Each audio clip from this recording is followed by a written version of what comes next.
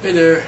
Um, doing this because tomorrow I'm seeing Pearl Jam live. This will be the second time I've seen them live.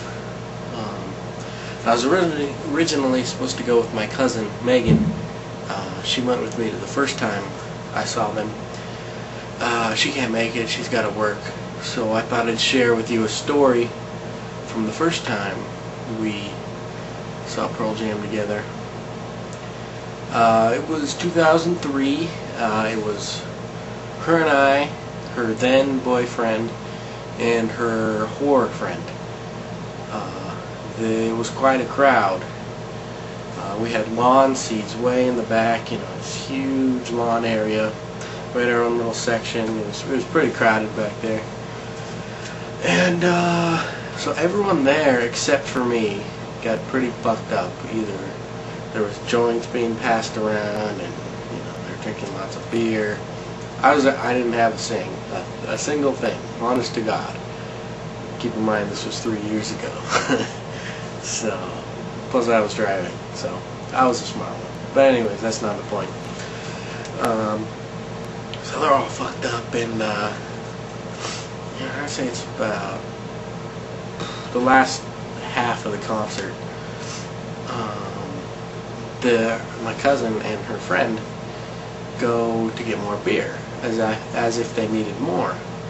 So I'm standing there enjoying the concert uh, with her racist fuck ex-boyfriend, and uh, this guy was fucking racist. I mean, as as we were watching the concert, he was burning crosses into the grass. It was really ridiculous how dumb he was.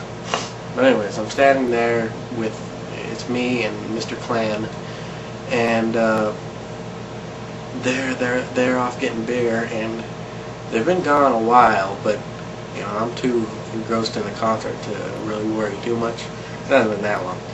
And then so the band Pearl Jam's playing the song Present Tense.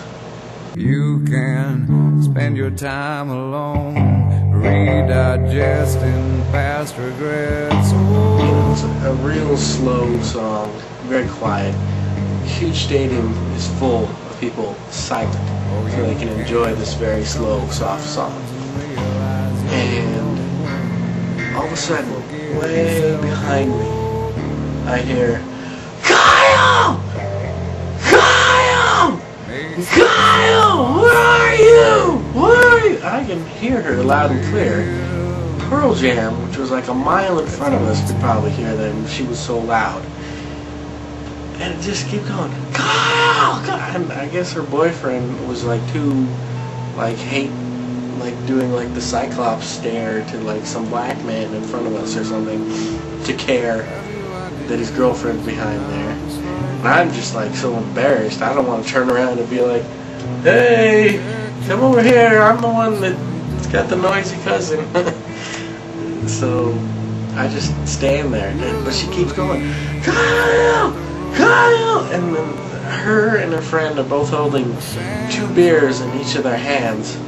So everyone's pretending they're me because they want some of the beer. They're like, oh, I'm Kyle, I'm Kyle. And, you know, that's not working.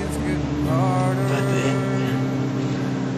eventually she finds us, but she totally was just like the loudest thing, louder than the band at this point, because the song was so soft.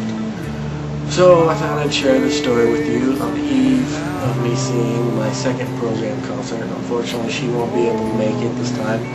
Uh, I'll be going with Dana, who I'm sure I'll have lots of fun with, but I don't, I really don't think she'll be doing a lot of yelling. So I share the story to reminisce to Megan. You will be missed tomorrow. Hopefully you, you can go next week with me. And uh, be thinking about you. Love you. Bye.